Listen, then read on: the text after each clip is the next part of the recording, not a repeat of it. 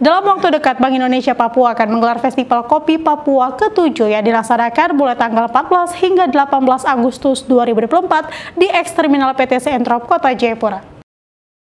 Bank Indonesia Papua akan menggelar Festival Kopi Papua ke-7 selama lima hari dengan melibatkan 44 usaha mikro kecil dan menengah, 20 UMKM kopi, 19 UMKM kuliner, dan 5 UMKM fashion dan craft atau kerajinan akan ikut terlibat. Festival kopi ini bertujuan memperluas akses pasar, meningkatkan kompetisi pelaku usaha UMKM, dan kualitas kopi Papua sebagai komoditas unggulan Papua secara berkelanjutan, serta meningkatkan brand awareness kopi Papua melalui penciptaan unique selling point dan memberikan experience baru dalam menikmati dan mengeksplorasi kopi pada area coffee lounge.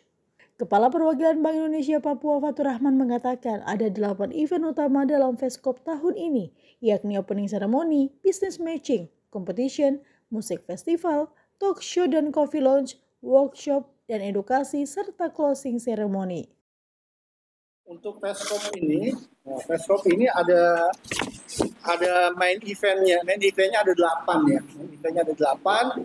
Nah, nanti opening ceremony-nya tanggal 14 malam ya, 14 malam. Nanti ada uh, deputi gubernur kami akan hadir, Pak Yuda Agung. Kemudian juga nanti insya Allah uh, Pak PJ baru akan hadir juga di uh, opening ceremony. Kemudian juga ada business matching ya, business matching uh, empat calon agregator ini nasional semua Mas.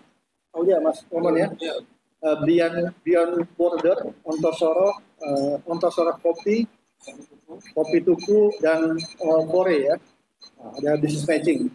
Ini penting untuk uh, mematchkan uh, pelaku kopi uh, di Papua dengan uh, agregator di tingkat nasional.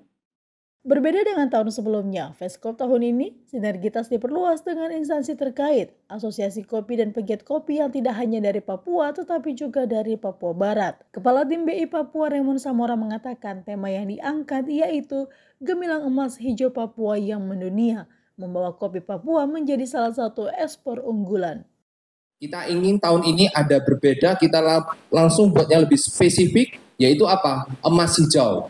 Nah, jadi dengan kata kunci tersebut memang dari tahun ke tahun kita selalu berupaya ada peningkatan, ada upgrading, kopi Papua bisa terus-menerus dikenal oleh masyarakat dunia. Jadi salah satu tadi sudah disebutkan oleh Pak Fatur, di tahun 2024 ini kita membawa kopi uh, Papua itu ikut dalam pameran mungkin bisa dikatakan salah satu pameran kopi terbesar di dunia. Ya, World of Coffee di Copenhagen. Nah, ini menjadi salah satu spirit Bank Indonesia menargetkan transaksi pada Veskop 2024 sebesar 3,9 miliar rupiah dengan target pengunjung sekitar 20 ribu selama lima hari. Darul Mutakin, iNews melaporkan.